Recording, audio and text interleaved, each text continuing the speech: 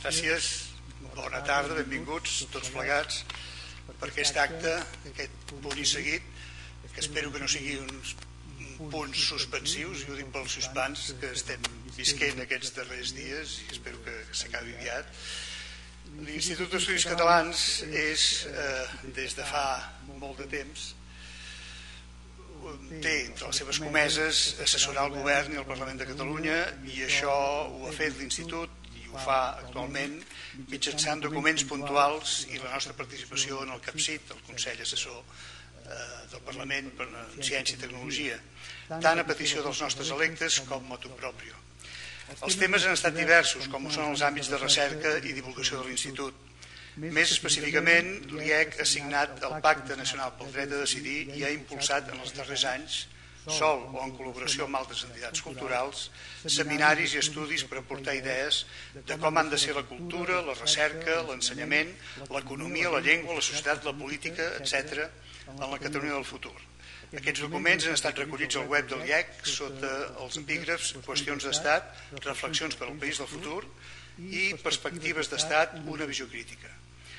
Aquest és el vessant social i de país de l'Institut que conviu amb el vessant científic i d'estudi, que és el propi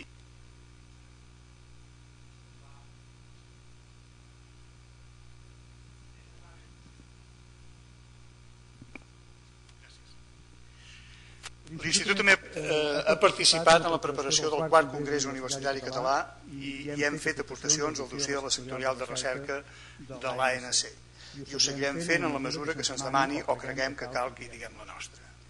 Tot això es fa perquè creiem que tenim coses a dir i creiem que cal que els nostres electes la sàpiguen i eventualment mirin d'incorporar-les a les seves polítiques. Val a dir, però, que no és que hi confiem massa, eh, en aquest sentit eh, jo particularment sóc un pèl escèptic, per exemple, l'experiència del Congrés de Cultura Catalana i de les seves importants aportacions en el seu moment que no sempre foren tingudes en compte, ens fa, fer, ens fa ser una mica escèptics. Però no deixarem de treballar per tal que la nostra societat sàpiga que hi ha fulls de ruta pensats, treballats, engrescadors i possibles. És en aquest sentit que entenem que el país que volem ha fet una bona tasca i que cal donar-la a conèixer. Moltes gràcies.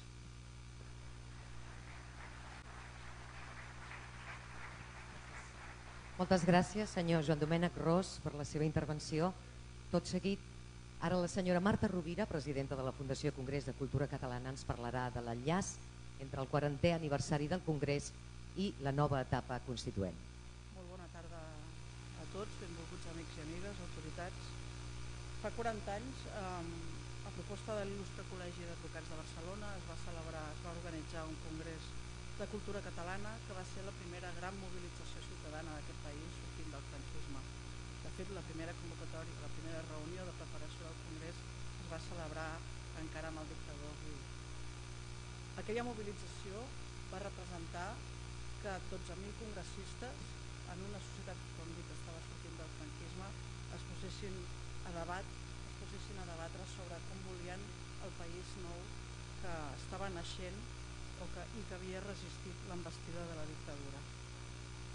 Aquell llegat considerem que va ser molt valuós perquè malgrat que no s'apliquessin totes les resolucions del Congrés, les, dels 25 canvis àmbits en què es va discutir, eh, va generar un nou relat per al país des de la cultura, des de l'economia, des de la societat civil en general, el teatre, eh, totes les expressions que, aquella, que bategaven en aquella societat.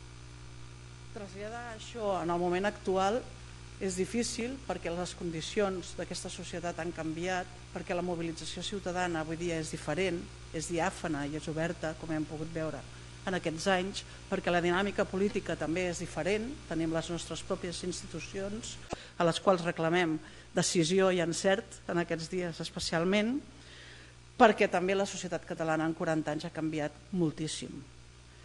Tot i així, sí que aquell esperit de necessitat de transformació, de fer un pas cap a una transició nacional en què tota la societat catalana se senti partícip, podríem dir que sí que es torna a produir en aquests moments. Estem en un procés de transició, no tan sols des del punt de vista polític, sinó també des del punt de vista social, perquè el món en què vivim està canviant a passes accelerades i nosaltres en formem part en primera línia de foc. Som una societat amb grans clivelles importants des del punt de vista social, econòmic i polític i per tant també ens pertoca preguntar-nos què hi fem avui al món i com hi hem de ser i com hi hem de conviure.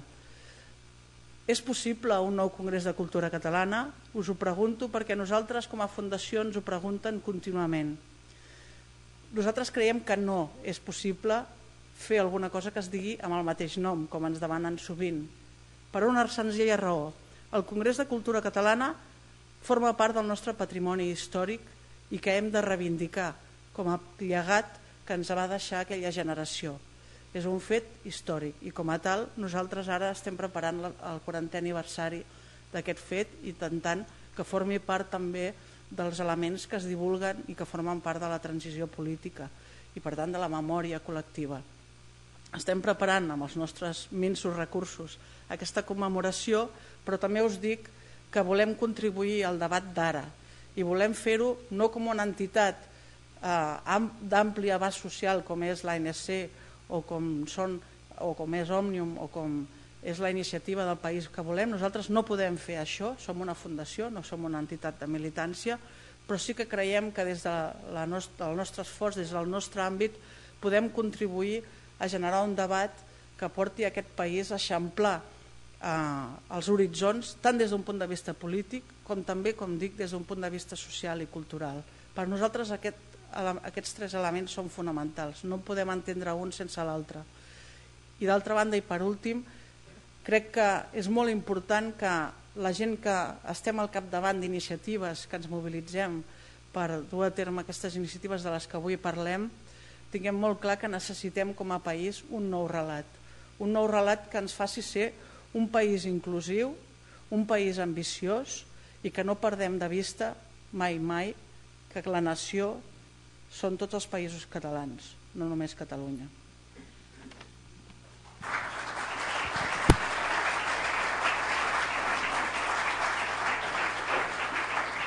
Moltes gràcies, senyora Rovira. Seguidament celebrem el senyor Salvador Alegret, president de l'Associació País que Volem. Ell farà el balanç del que s'ha dut a terme des de la seva Constitució fins al dia d'avui. Bona nit benvolguts amics um,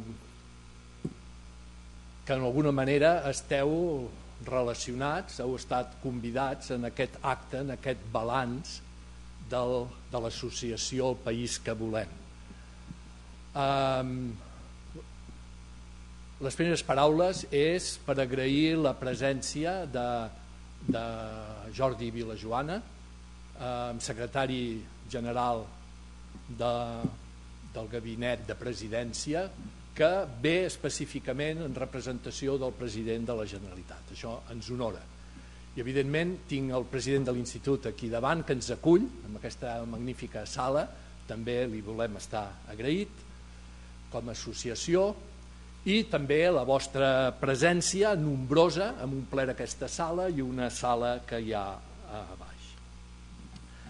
Presentaré breument, perquè l'acte d'avui és molt dens, eh, el balanç d'un any i mig d'activitat d'una més, per nosaltres importantíssima associació, que eh, ha baixat a l'arena en aquests moments que, tal com molt bé explicava la Marta Rovira, en aquests moments de transició nacional. Aquell esprit del de l'època de la transició cap a una democràcia, en certa manera, avui es viu, estem eh, eh, en un moment de transformació, de transició nacional, eh, eh, social i, i política.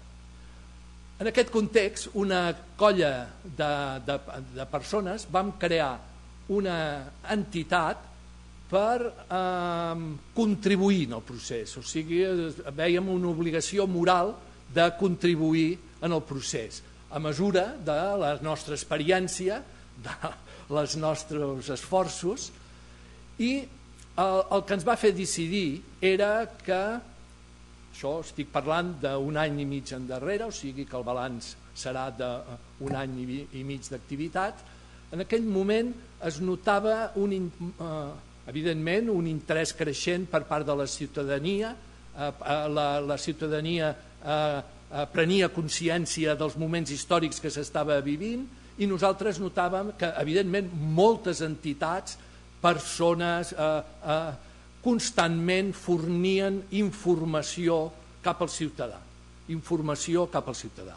La nostra associació va analitzar això i creiem que hi havia una, un, un, un forat complementari amb aquests esforços d'invertir una mica el flux i també fer protagonista al ciutadà en què el ciutadà pogués expressar les seves opinions, pogués ser protagonista i evidentment nosaltres ja les vehicularíem cap als eh, organismes polítics eh, convenients. Per tant, en, en aquest sentit, eh, és com eh, eh, donar veu a la ciutadania, donar veu eh, a el que diríem a la, a la base. Amb, amb aquesta, eh, podríem dir, amb aquest flux que no, no era l'habitual.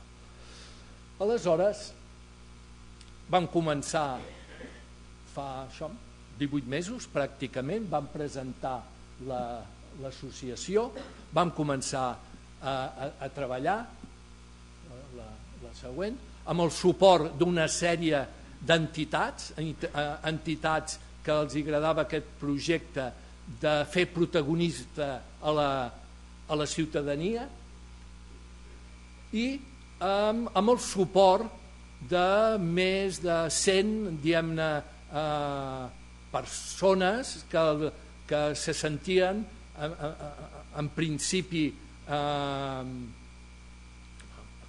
volien donar suport al projecte eh, intel·lectualment, eh, pràcticament, eh, etc.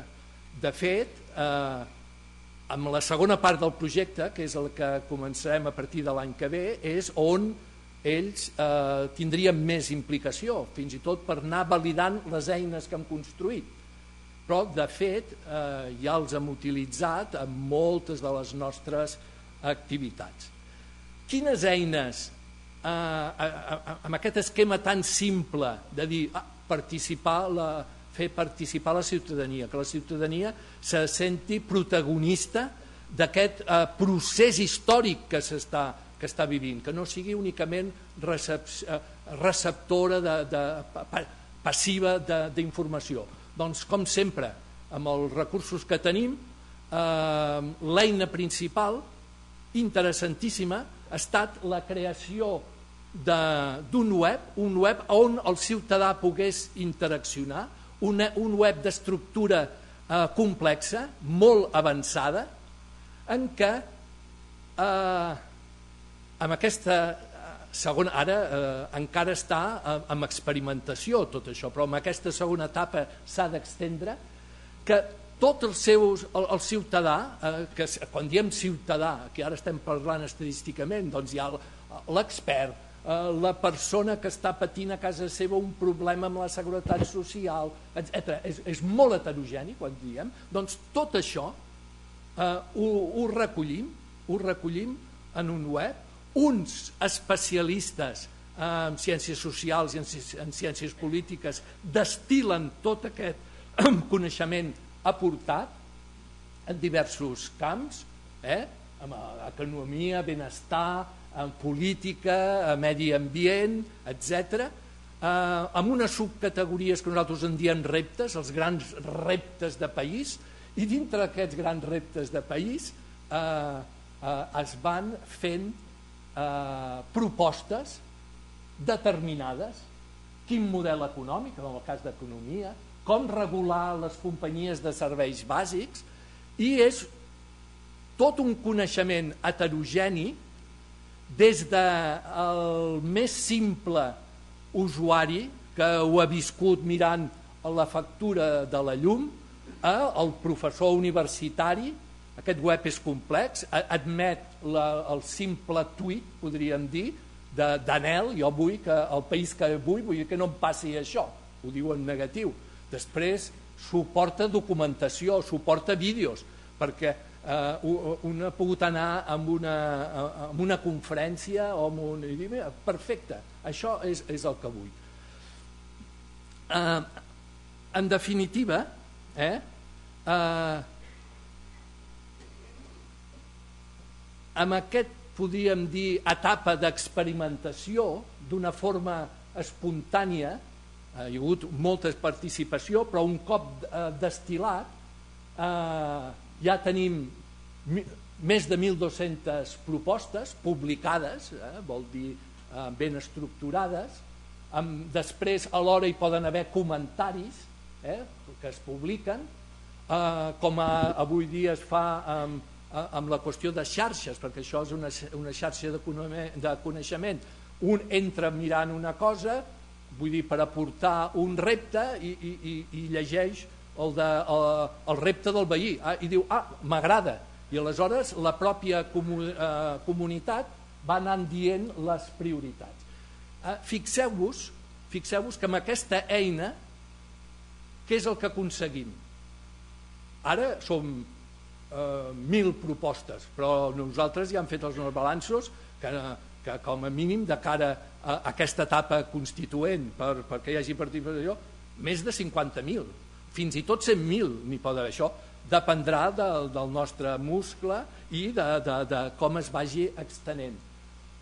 Eh, fomentem la participació ciutadana. El ciutadà té un, un lloc, ara encara no és prou conegut, és a dir, allà em recullen, però no la queixa, em recullen la, la meva, eh, el meu anel en, en positiu.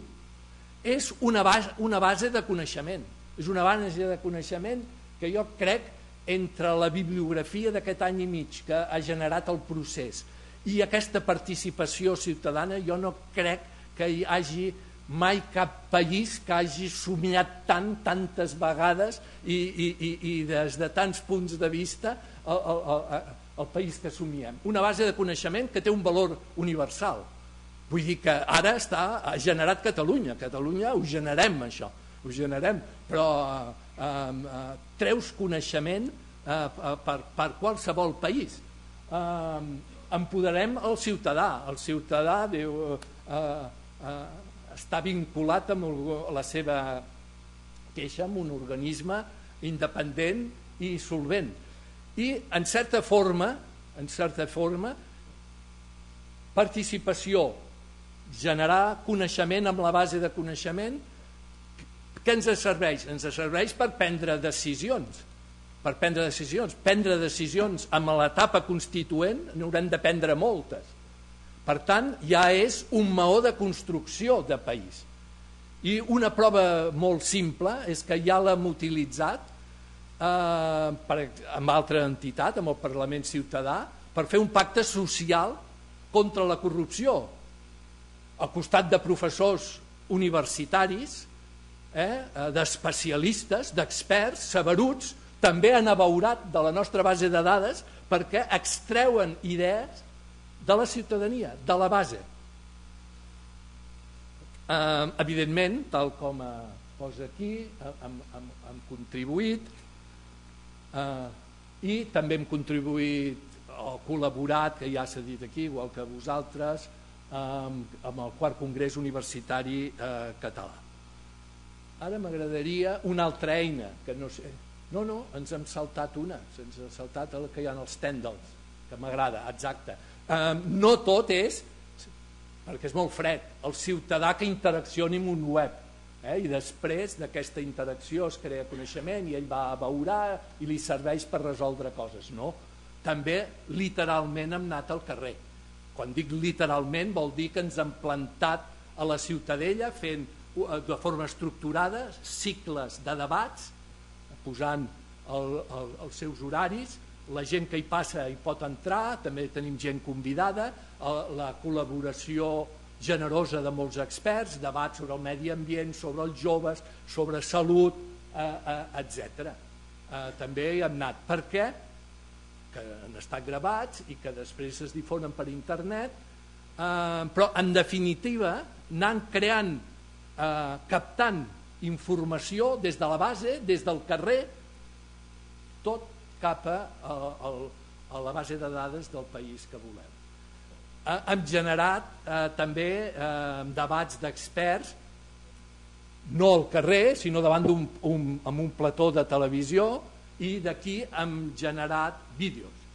Hem creat vídeos sobre temes de, de, de, de, de tot tipus, de tot tipus. Temes de, sobre de, democràcia participativa, aquests grans conceptes que de vegades surten. Aquests eh, vídeos, eh, amb sis sessions, 30, amb 30 experts en total, 31 vídeo, eh, tot això és una, és una feinada.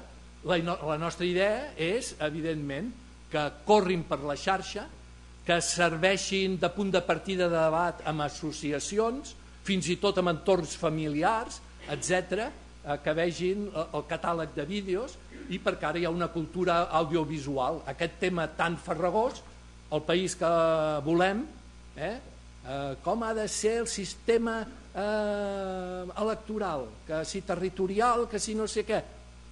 I jo em pensava que era una cosa molt simple, però un cop ja veus el, el, una sessió amb els experts, realment dona per una discussió, no dic eterna, però, però bé, generant, eh, en el fons, tot això és generar coneixement cap a, a, a la nostra base. I també hem fet debats més tancats amb experts eh, que després han generat com, eh, de forma convencional un llibre, eh, tant els, tot aquest món del vídeo com el, el llibre, que és la primera publicació que ha generat l'associació, la, Mil i unes raons per l'estat propi, en parlarem eh, a continuació.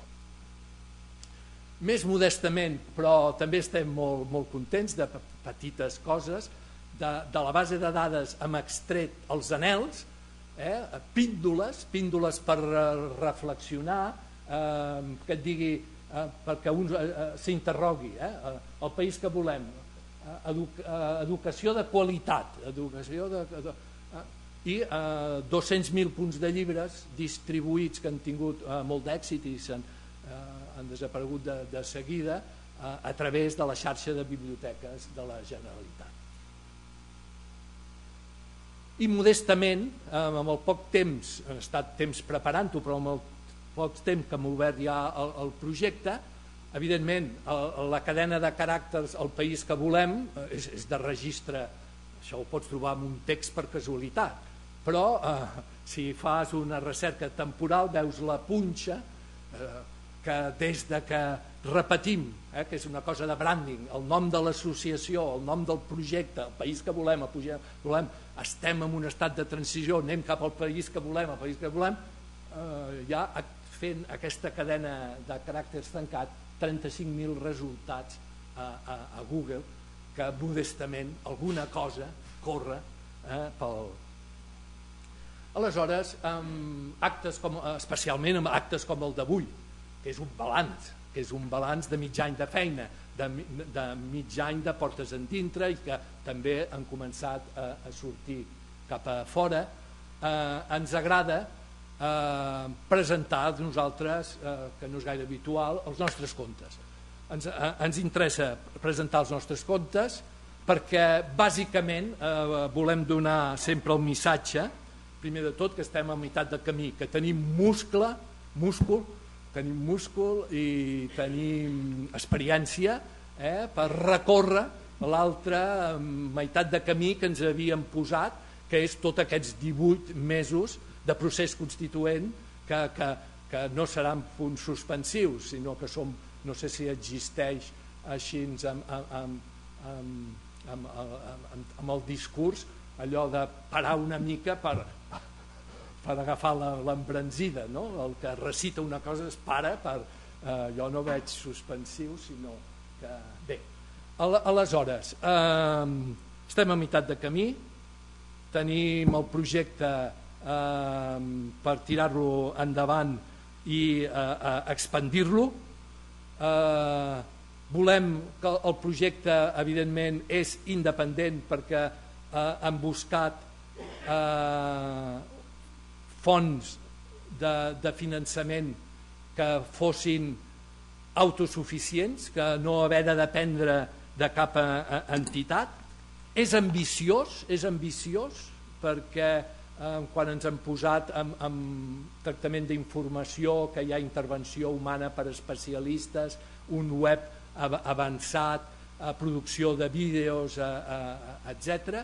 eh, les xifres eh, són, són importants, però tenim la sort, tenim la sort de que contem, contem amb la col·laboració generosa inicialment dels que van creure en el projecte, particulars, eh, una entitat, o sigui, que en, eh, eh, en format de préstec, que, el, que el, els, tornarem els diners, ens han permès iniciar aquest projecte que és del, de l'ordre d'uns 200.000 euros anuals.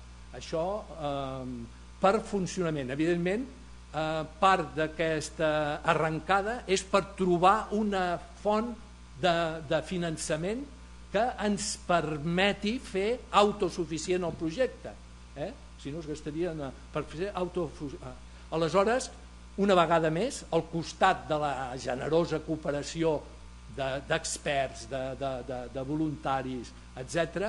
Eh, el país que volem, el projecte ha comptat amb la col·laboració d'un grup d'artistes que la seva contribució al procés és a través del país que volem, en què han cedit els drets de la seva obra, que és la que heu vist vosaltres aquí a, a l'entrar i quan acabi l'acte el podeu acabar de veure, que això ens permetrà, a mesura eh, de les que sapiguem nosaltres eh, convèncer a les eh, possibles persones que és una bona ocasió, podríem dir des del punt de... o sigui, eh, són unes obres d'art d'un valor intrínsec eh, com a obres d'art, no és res més també que una col·laboració o una inversió, diguem-ho així, patriòtica. I per acabar, eh, l'estructura nostra de, de despesa, que, que tot costa i és molt alt, és no ens apartem d'un 30% de despeses de funcionament, 30% de despeses de funcionament i el reste activitats.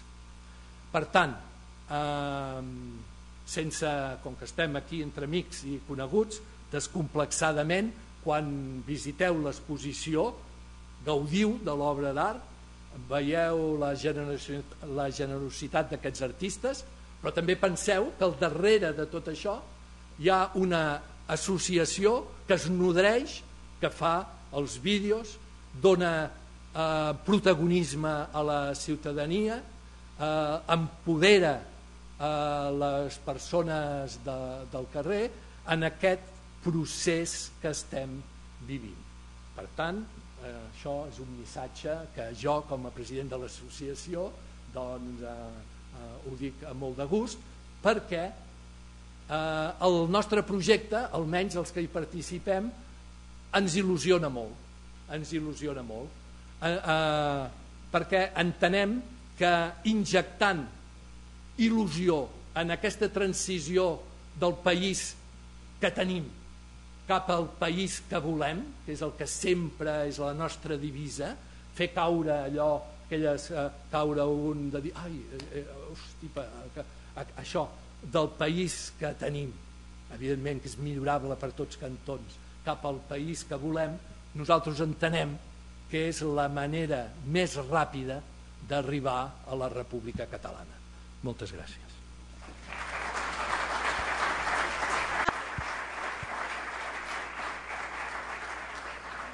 Moltes gràcies, senyor Alegret. Continuem doncs amb aquest punt seguit al que ell es referia. Suposo que era aquest el terme que, que buscava. I aquest és com, com hem titulat aquest acte. A continuació, rebem el senyor, senyor Jaume López, portaveu de Reiniciar, que ens parlarà de la plataforma Reiniciar i la Convenció Constituent Catalana.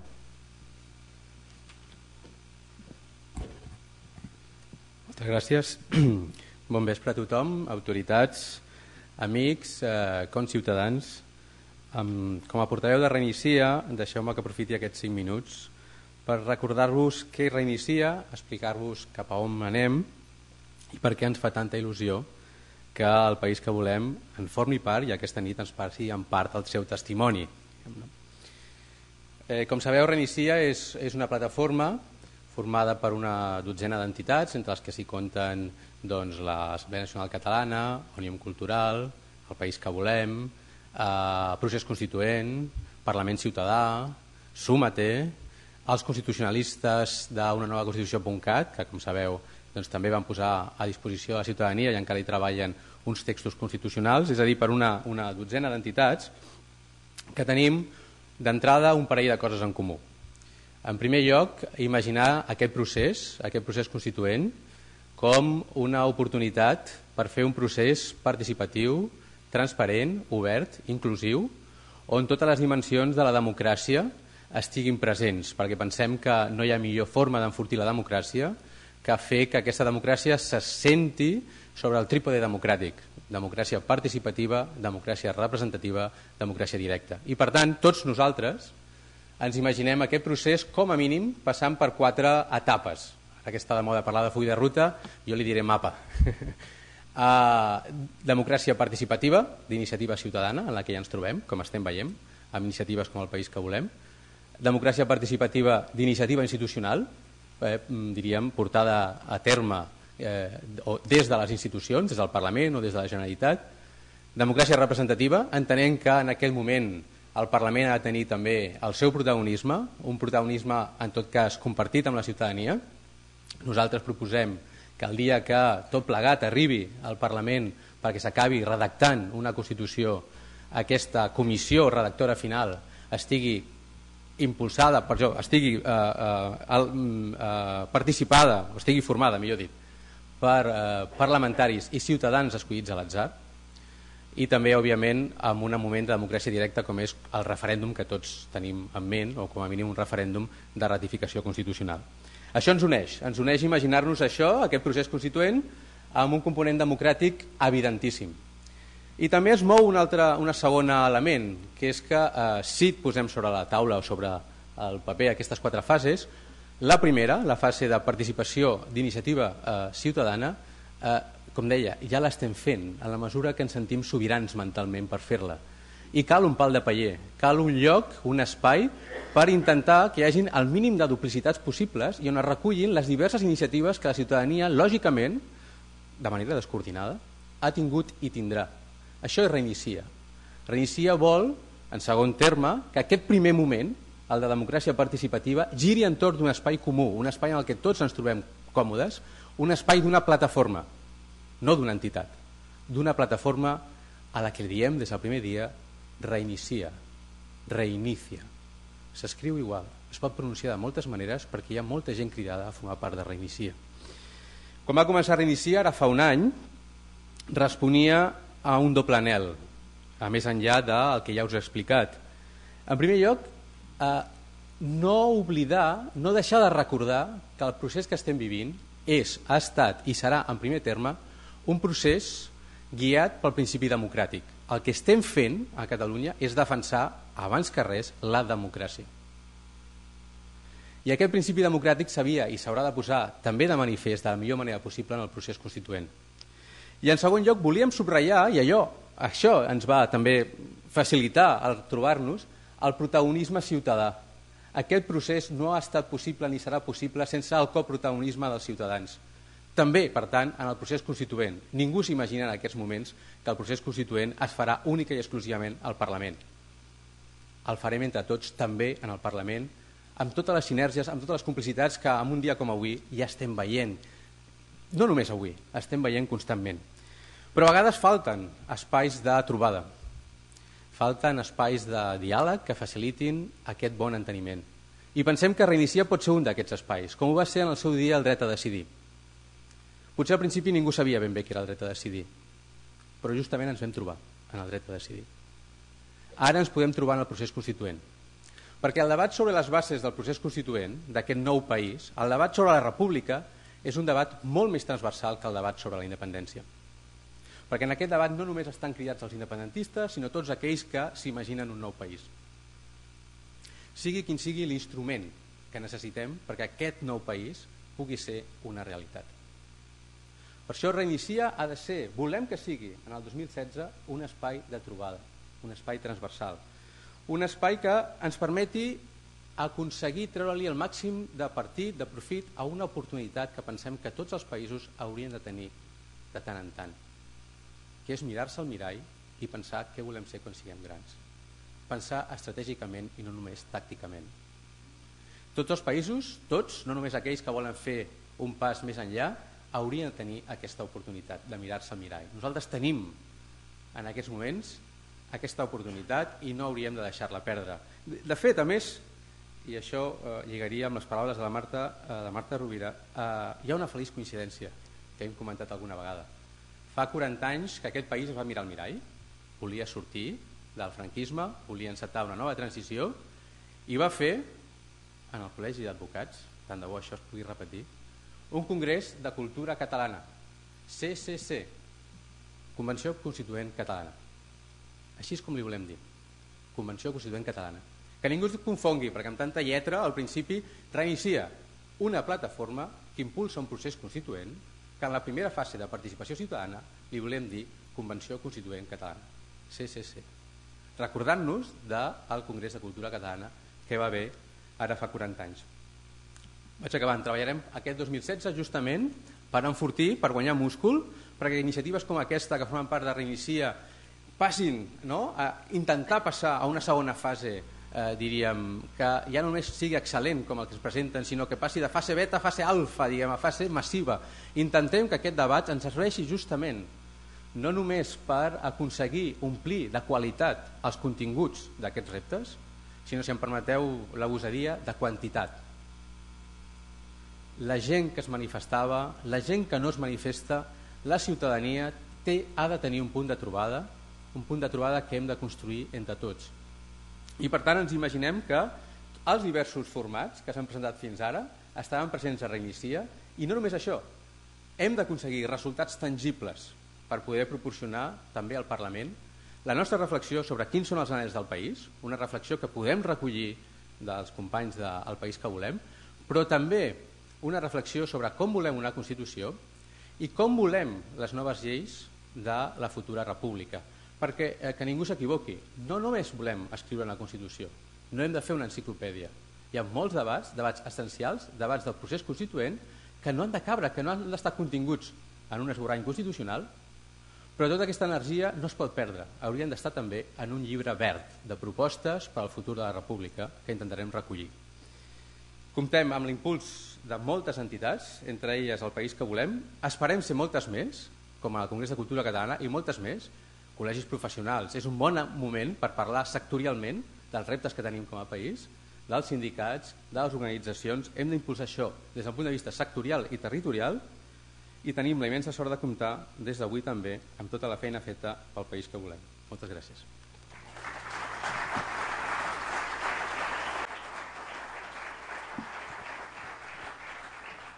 Moltes gràcies, senyor Jaume López, per la seva explicació. A continuació, rebrem el senyor Pere Pagès, que ens parlarà de les aportacions del país que volem a l'etapa constituent del full de ruta. Bona tarda. A mi potser em toca la part més densa d'aquest acte, potser la més conceptual, la més filosòfica. I ho és especialment eh, perquè aquesta setmana estem en un veritable enzucac que encara ens ho fa més complex de tot plegat. Potser val la pena aixecar la mirada, veure d'on venim, recordar on volem anar i, sobretot, com ho volíem fer quan vam iniciar aquest procés actual. El primer esborrany del full de ruta de tot aquest procés que estem vivint, escrit ja fa més de sis anys, deia, entre d'altres coses, que en la fase d'obtenció de la majoria social caldria emprendre les accions següents – la redacció de l'esborrany de la nova Constitució catalana, que serveixi de base per al treball que hauran de fer els parlamentaris escollits per aquesta finalitat i, sobretot, que serveixi per fer saber a tots els ciutadans de Catalunya i de la resta del món que volem la independència per a ser més lliures, més democràtics, més europeus, més solidaris, més sostenibles, més creatius, més participatius. I també deia que calia entrar en la redacció, li dèiem llavors del llibre blanc, em penso que eh, quan en Jaume López li diu llibre verd, ara ja hem après la diferència, eh, crec que si ho haguéssim sapigut fa sis anys ens haguéssim apuntat a dir el llibre verd, que mostri la radiografia completa del país i que serveixi com a punt de partida dels futurs programes de govern. Fa dos mesos que la majoria no entenem quasi res del que està passant. Potser val la pena també mirar enrere i fixar-nos en el que deia aquell mateix document, aquell full de ruta inicial.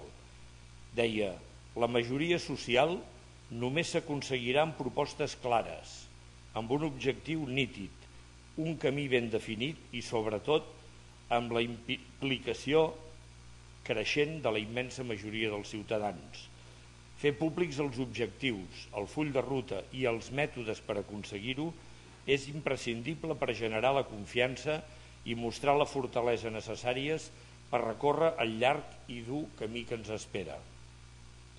M'ha semblat necessari començar per aquestes notes ja gairebé històriques, perquè quan es percep una certa desorientació és bo de mirar enrere per veure si seguim el camí inicialment traçat, i no ho fem del tot.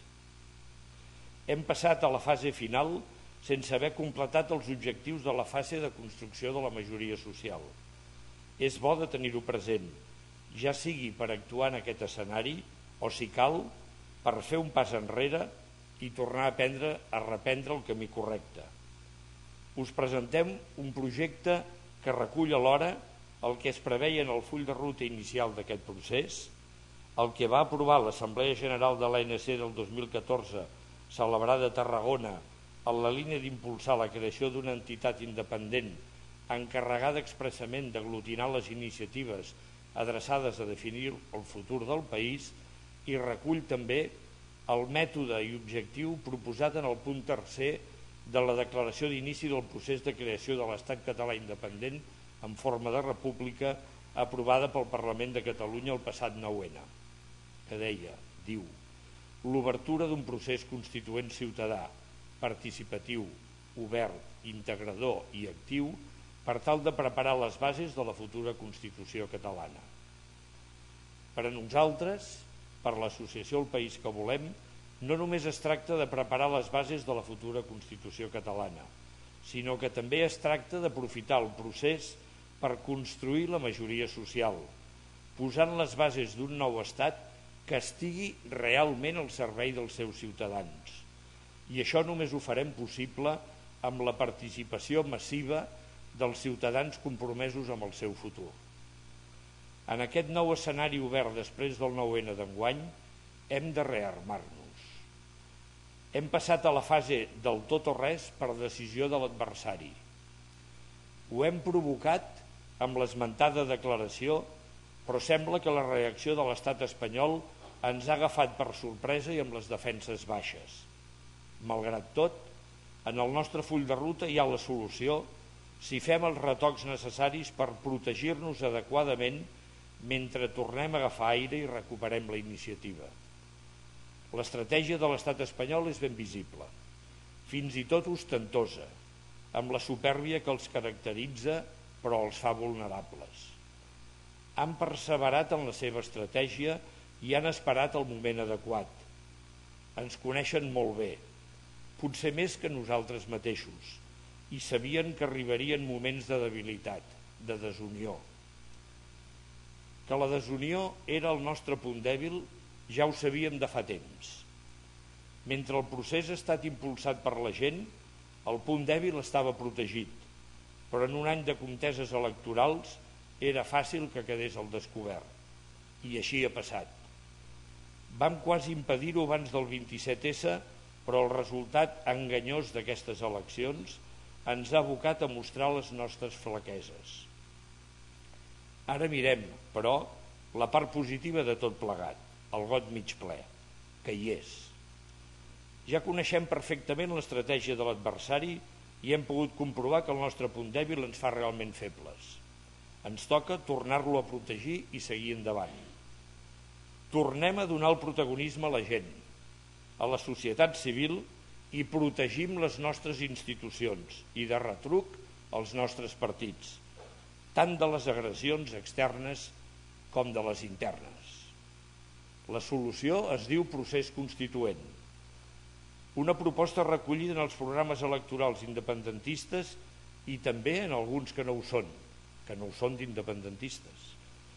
Un procés que podem fer de moltes maneres, però que ens convé fer-lo de baix a dalt, donant el poder a la societat civil i no posant en risc ni el Parlament ni el govern. Ens convé que el país funcioni i que si algú hi posa dificultats, que sigui ben clar per a tothom que és l'estat espanyol. El Parlament ha fet que la força guanyadora ha fet el que a la força guanyadora s'havia compromès a fer, la declaració d'inici del procés de construcció de l'estat català en forma de república. L'estat espanyol també ha fet el que se n'esperava, amb un recurs més davant el Tribunal Constitucional i fent una volta més de cargol de l'ofec econòmic. On tenim les defenses? En la gent. En la gent i prou. Hem de treballar sense pressa i sense parar. Necessitem disposar de les eines imprescindibles per construir el nou estat i alhora per ampliar primer i consolidar després la majoria social. Una majoria social sòlida, implicada, convençuda que només amb el nou estat català tindrem les cotes de justícia social, de benestar, de democràcia, d'igualtat i solidaritat que necessitem i volem.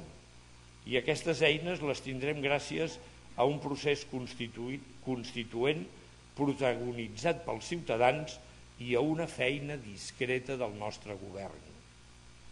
Ja arribarà el moment en què decidirem fer el cop definitiu que tal com van les coses no pot ser un altre que la declaració d'independència com a resultat de la celebració d'un referèndum per aprovar la nova Constitució de la República Catalana. Mentrestant, hem de treballar per crear les condicions imprescindibles per poder celebrar-lo i per guanyar-lo. I per una cosa i l'altra, el procés constituent és la millor eina. El 9-N ens va demostrar que en un estat, i ara parlo del 9-N del 2014, que en un estat que vulgui preservar la seva aparença democràtica, si els ciutadans volem, som capaços d'organitzar una consulta i de guanyar-la. És amb aquest horitzó en el que hem de moure'ns.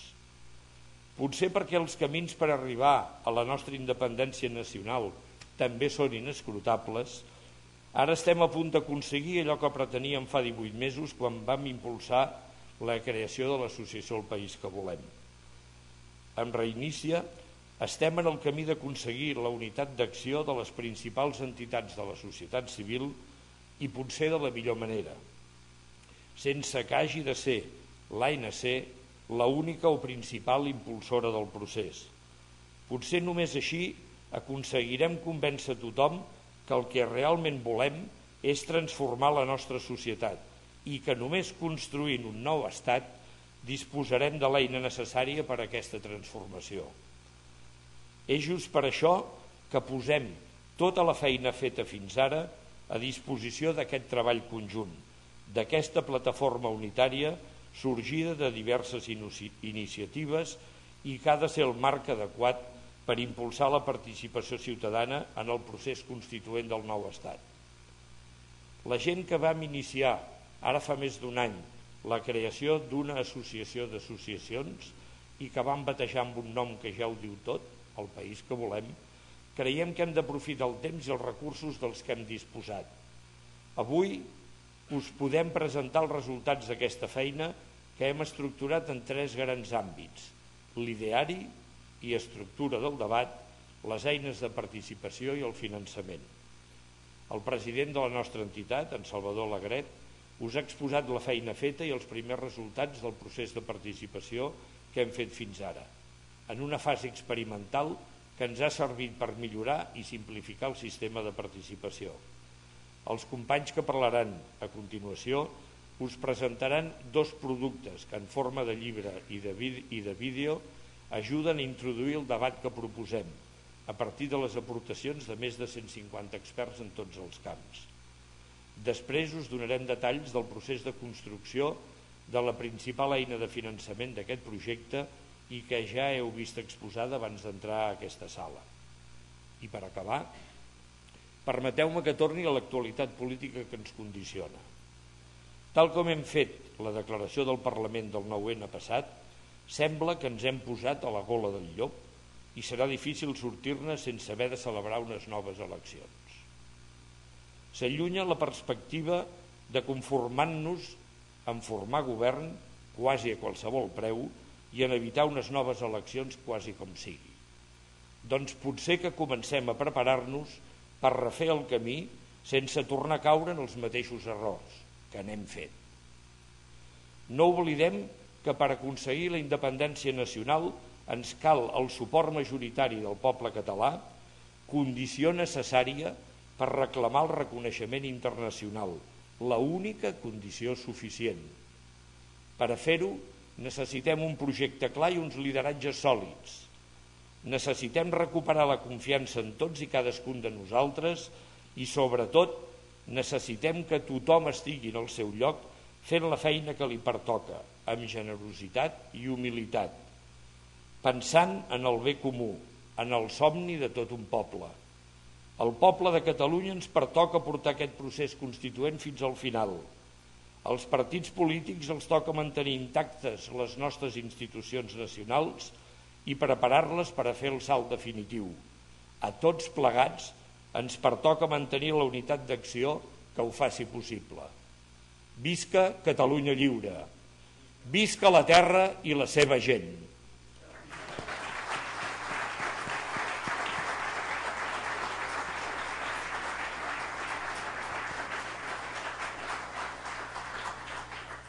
Moltes gràcies, senyor Pere Pugès, per aquestes sàvies paraules. Ara el senyor Jordi Mercader ens farà un breu resum dels temes i debats que es recullen en el llibre, el que ha fet referència en Pere, les mil i una raons per l'estat propi. Hola, bona tarda.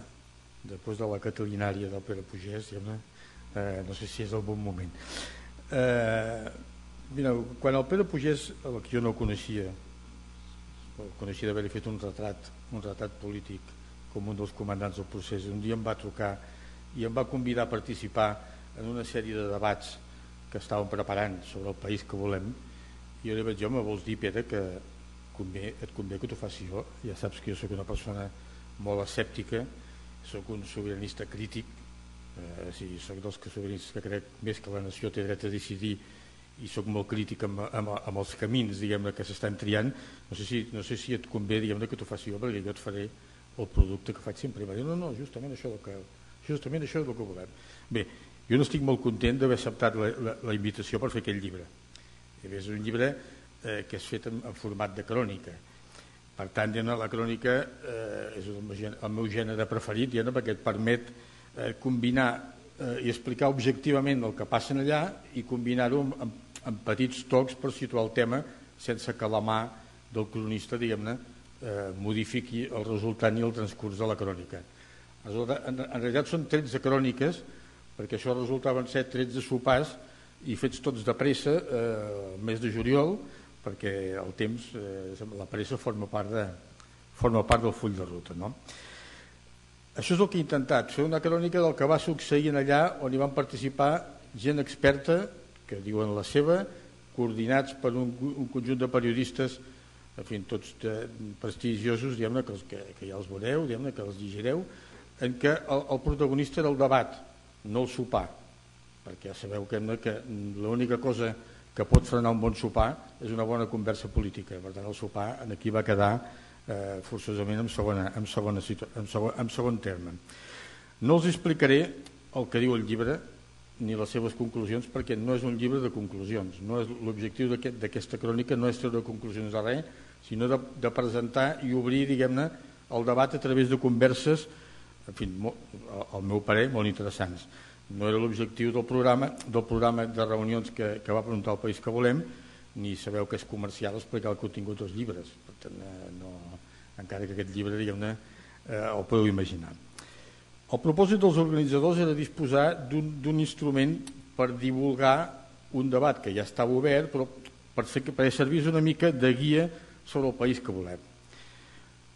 més enllà de l'estratègia i la tàctica més adequada per aconseguir-ho.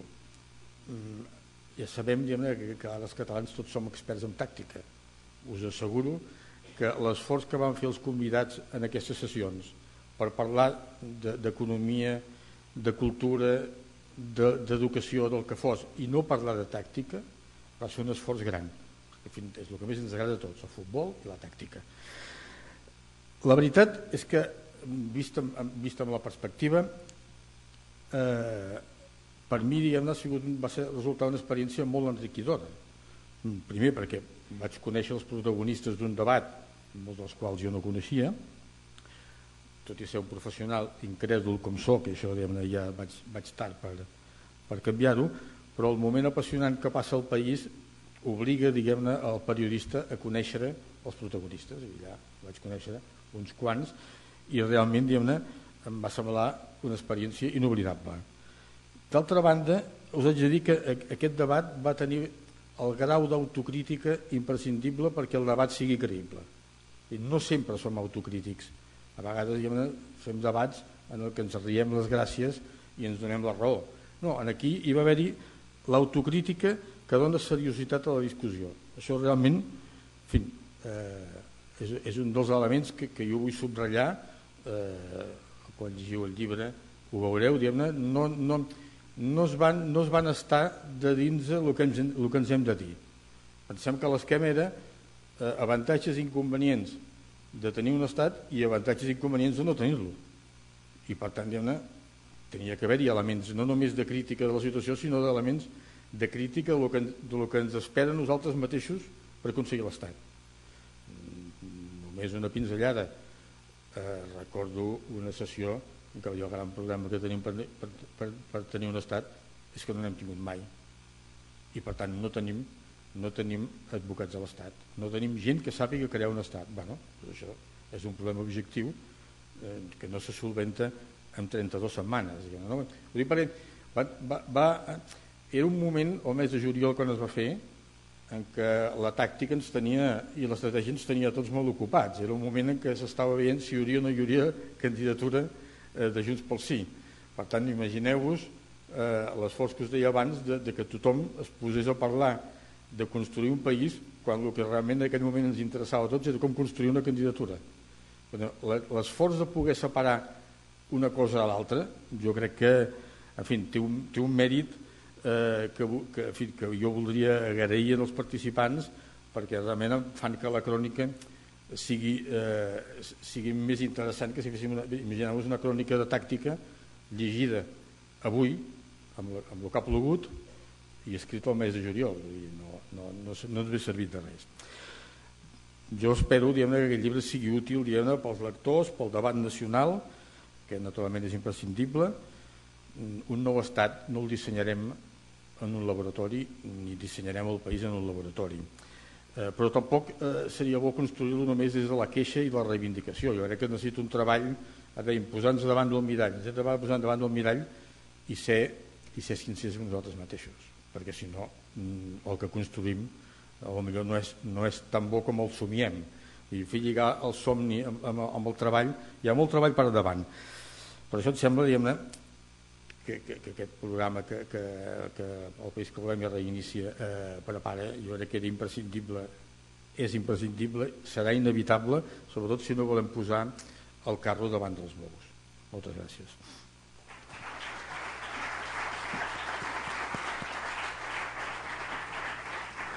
Moltes gràcies, senyor Mercader, per la seva exposició. A continuació, el senyor Martí Olivella, director tècnic de l'associació El País que Volem, per a la presentació de la sèrie de vídeos breus Agora Clips sobre la política que volem. Benvingut, Martí. Bona nit, moltes gràcies.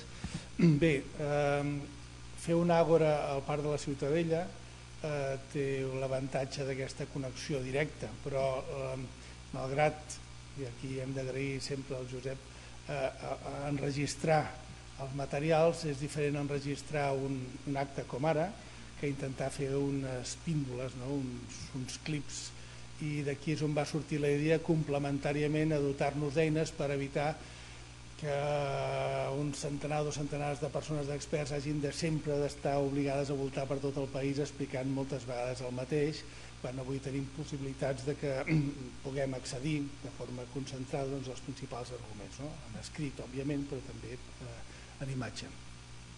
Això és el que ens ha portat a, a, a agafar un plató senzill, no és una realització super eh, espectacular de res, sinó simplement dos, tres, cinc persones durant una hora fan les seves propostes sobre aquests grans reptes eh, s'enregistra i llavors eh, hi ha el programa sencer però també hi ha les píndoles eh, que es poden veure i que poden servir, com deia abans el Salvador, doncs, com, a, com a introducció a qualsevol debat. Eh, a, la, a, la, a la sortida doncs, cadascú de vosaltres podran dur eh, això està a YouTube, està a la pàgina web de, del País que volem, aquests 31 càpsules més els 6 vídeos complerts d'una hora, però a més a més n'hem fet una edició en DVD doncs que la tindreu perquè és més fàcil doncs, a vegades poder-ho projectar i poder discutir. Òbviament, tant aquest material com el del llibre són eines per suscitar la reflexió col·lectiva i l'elaboració de propostes en el que estem dient, no són cap doctrina tancada, no, no hi ha una posició, hi ha pluralitat en tots els casos i això és el que volem suscitar, no? la capacitat de, de desenvolupar les nostres capacitats col·lectives de reflexionar i de proposar. Com que la millor eh, és una imatge doncs veurem dels 31 n'hem triat un d'un tema malauradament molt actual i podrem veure ara doncs, eh, en 5 minuts això jo redueixo la meva intervenció i prefereixo que parlin els que han participat en el procés si poses el vídeo sisplau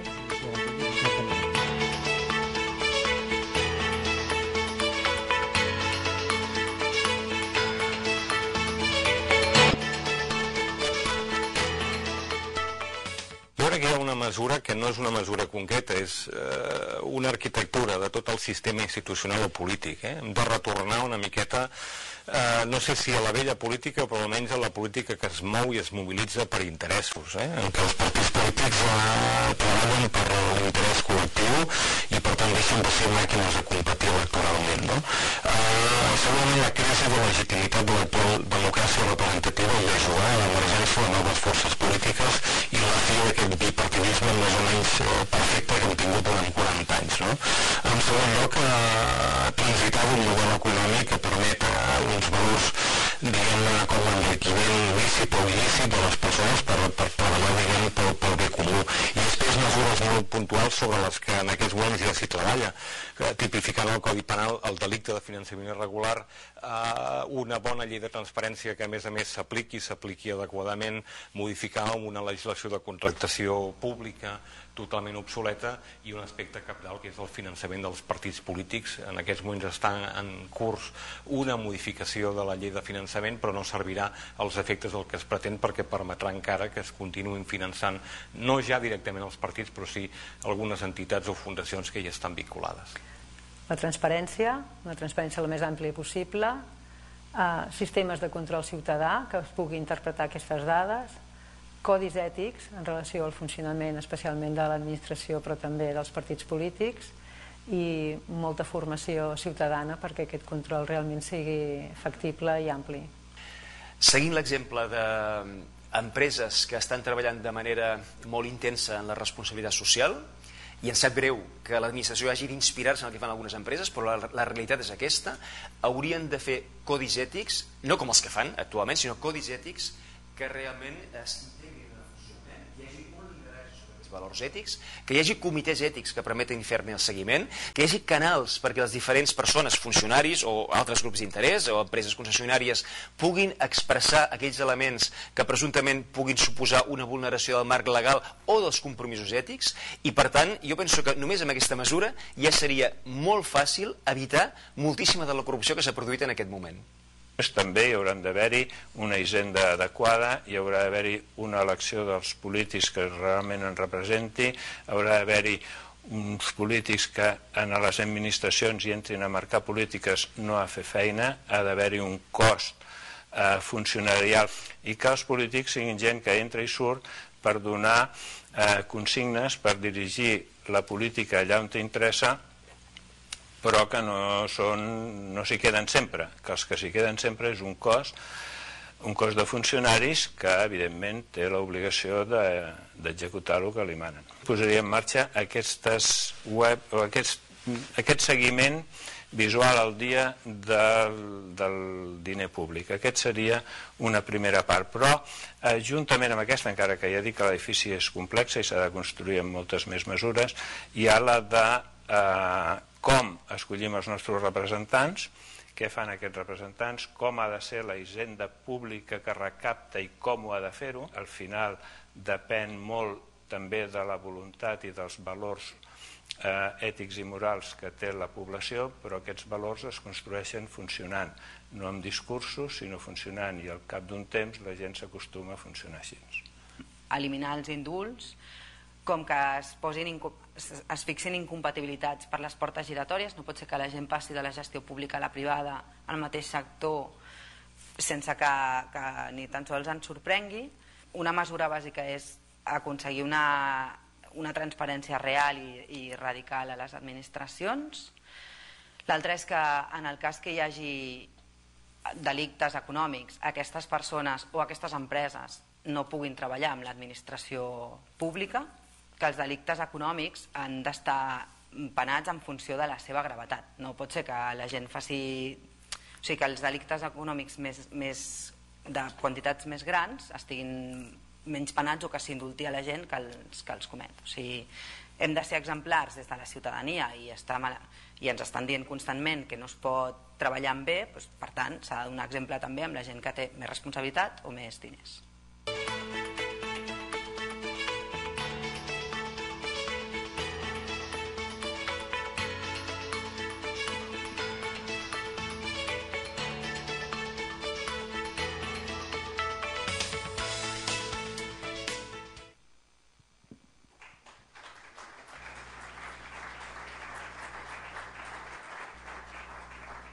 Doncs us convidem a veure eh, els diferents clips amb les diferents propostes per fer front als altres grans reptes de país, tal com ens indicava el senyor Olivella.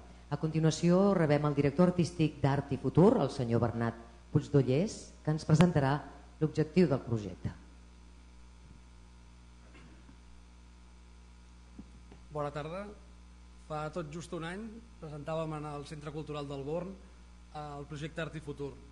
I avui doncs, ens fa molta il·lusió presentar el projecte de nou i definitivament perquè ja podem dir que és una realitat com heu pogut comprovar eh, en les obres exposades en el claustre de l'Institut d'Estudis Catalans i que va, va sorgir de, la de dos objectius molt clars que és el que em van demanar el país que volem quan es van posar en contacte amb mi que era més enllà de la, de la funció pràctica d'aconseguir fons per poder tirar endavant les seves activitats era la d'implicar el procés, eh, en el procés eh, polític que estava vivint el país el col·lectiu artístic català. Per fer-ho ens vam marcar, evidentment, de, els artistes que voluntàriament van voler participar, però sobretot una qüestió de qualitat. Volíem que fossin els millors artistes que tinguéssim al país i que, de forma, eh, com han actuat de forma desinteressada, ens, ens crea, crear una carpeta que fos un retrat fidel de la realitat artística del moment i que fos donar veu en aquest col·lectiu que normalment treballa eh, en el seu estudi, a la intimitat del seu estudi, però que sempre en els moments de, de màxima necessitat, en els moments de, sempre ha estat a favor del poble i de la voluntat del poble i sempre s'han mostrat i s'han afegit en els processos de canvi del, del país. És per això que al llarg d'un any hem pogut eh, elaborar les 24 litografies que, que heu pogut veure aquí fora, que són d'alguns de, dels artistes més rellevants que tenim, que són Jordi Alcarat, Eduard Arranz Bravo, Alberta Ribas, Carles Azcón, Helena Bassaganyes, David Bonet, Alfons Borrell, Joaquim Chancho, Ebro, Miquel Jalabert, Salvador Joan Pere, Robert Llimós, Anna Llimós, Francesca Llopis, Ariadna Mangraner, Sergi Mesa, Pere Jaume, Gorka Pinyol, Estela Rahola, Riera i Aragó, Benet Rossell, Oliver, Oliver Roura, Gerard Sala i Rubén Torres. 12 artistes consagrats amb una, amb una llarga trajectòria a l'esquena i 12 artistes joves però amb una gran vàlua que han donat desinteressadament la seva obra i que avui us presentem en dos formats. Per una banda les carpetes que heu pogut veure, les, la, que contenen les obres que aquí fora en el claustre es poden veure i per altra banda aquest llibre que recull el procés de, de realització d'aquestes peces i que de fet ha anat agafant entitat pròpia al llarg d'aquest any de, de realització. Jo per acabar només voldria agrair a tota la gent que ha fet possible aquest projecte, que és molta, i que malgrat les dificultats que han anat sorgint al llarg de l'any hem pogut anar-les eh, salvant fins a arribar a la realitat que avui us presentem. En primer lloc, crec que he d'agrair sobretot la, en Pere Pugés, en Jaume Marfany i en Jordi Manyà tota la seva col·laboració a l'hora de fer realitat aquest projecte, sobretot els artistes que són, són la, la base d'aquest projecte i que són la part més important d'aquest projecte, no tan sols per les litografies que han fet, sinó per totes les facilitats que ens han posat i per la, la, el plaer que ha estat treballant amb ells durant tot aquest any. També agrair a la a Polígrafa, a Obra Gràfica, que s'ha encarregat de fer possible i de fer la, la impressió de les litografies, i sobretot en Joan de Muga, a la Dolors Calvet i a l'Amor, i sobretot sobretot a l'Helene Chardon, que ha sigut el que el dia a dia ha estat treballant directament amb els artistes per fer que el, aquelles obres que ells havien imaginat siguin el més fidels eh, a l'hora de fer-les, eh, a l'hora d'imprimir-les.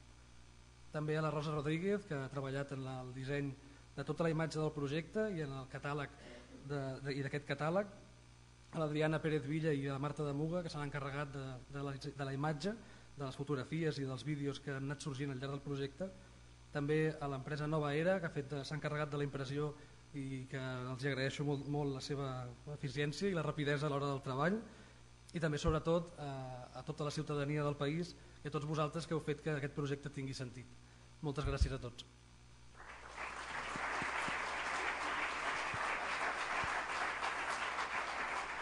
Moltes gràcies, Bernat. A continuació demanem que s'apropin fins aquí el senyor Salvador Alegret i la senyora Alicia Casals, vicepresidenta de l'associació El País que Volem i també anirem rebent aquí davant alguns dels artistes participants als que es referia Bernat que avui ens han pogut acompanyar per lliurar-los-hi a cadascun la col·lecció de proves d'artista i la col·lecció de les litografies en agraïment lògicament a la seva generosa aportació.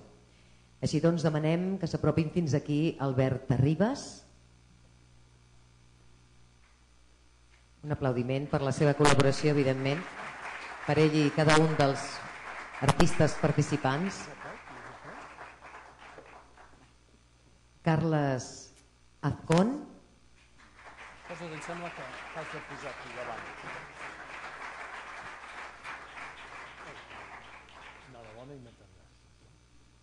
L'Helena Bassaganyes.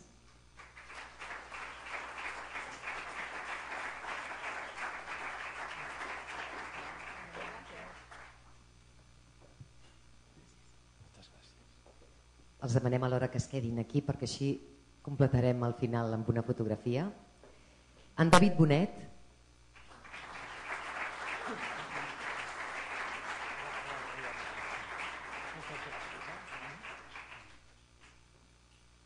En Salvador Joan Pere.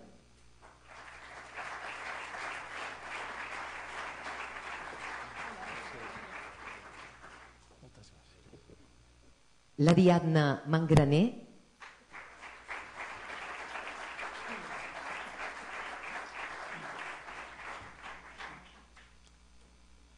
en Sergi Mesa,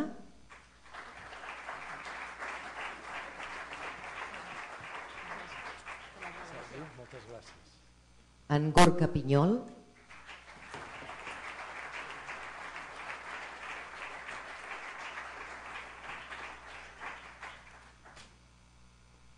Estela Raola Matutes.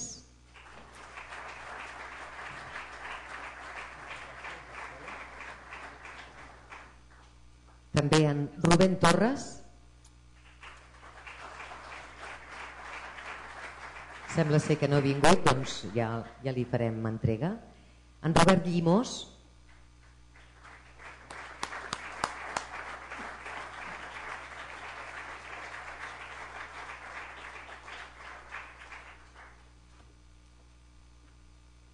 També l'Anna Llimós,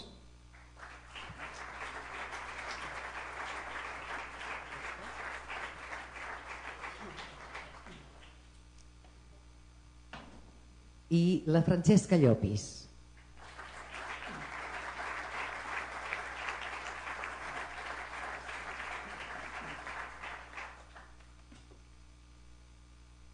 Si us col·loqueu per aquí, fantàstic.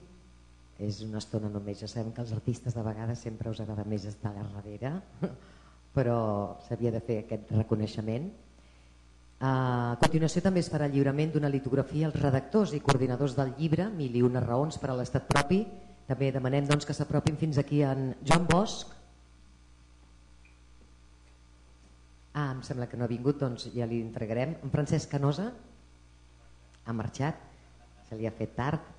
En Salvador Cot, que també sabem que ha marxat, que tenia pressa, tenia un altre, un altre acte. En Xavier Duran, també li volem agrair, encara que no hagi vingut ho farem. En Pere Martí, en Jordi Navarro, en Munt.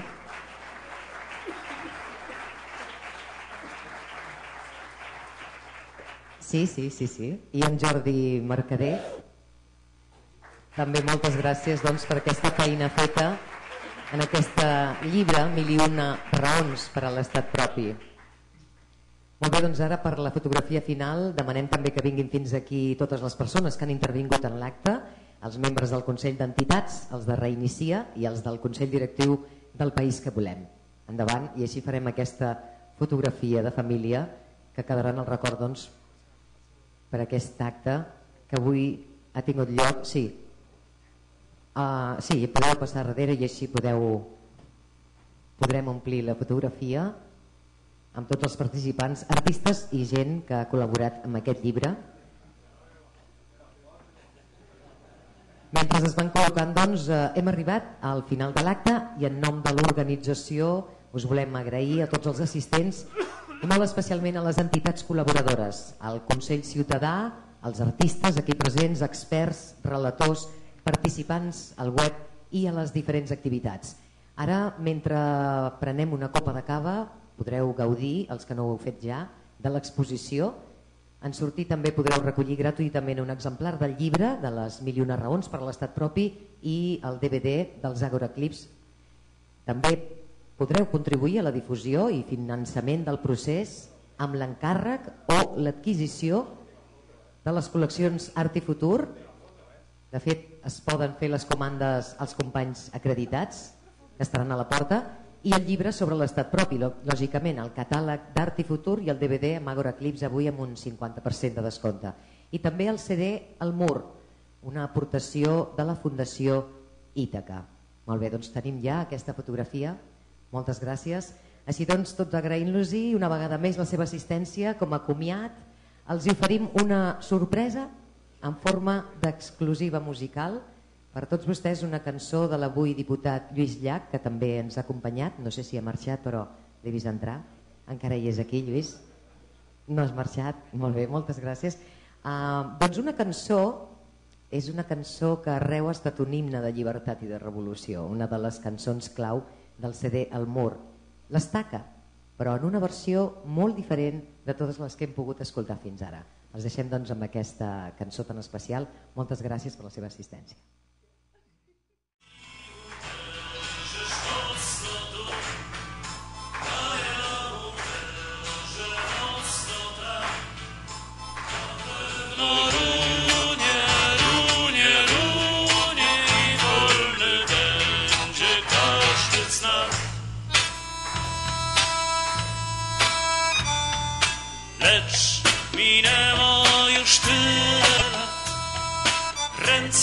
Mam starte do krwi. A kiedy czuję, że sił mi brak Mur rośnie grubszy niż był. Wiem już, że ledwie się trzyma Lecz ciężko ruszyć go stąd. Nawet gdy czuję przypływ sił Powtórz si, że cię pieśń swą, gdy uderzysz.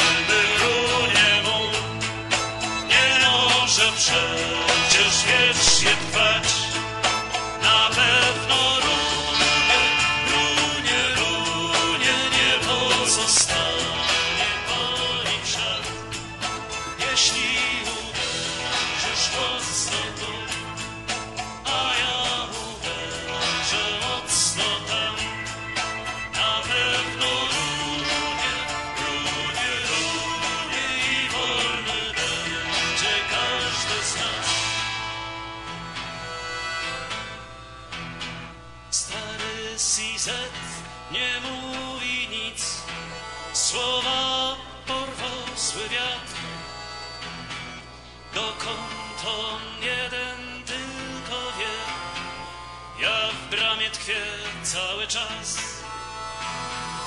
I gdy przychodzą oni wciąż, słyszą jak rośnie mój głos. Śpiewam ostatnią Sizeda pieśń, tę, której uczył nas on. Gdy uderzymy runie mu, nie może przejść.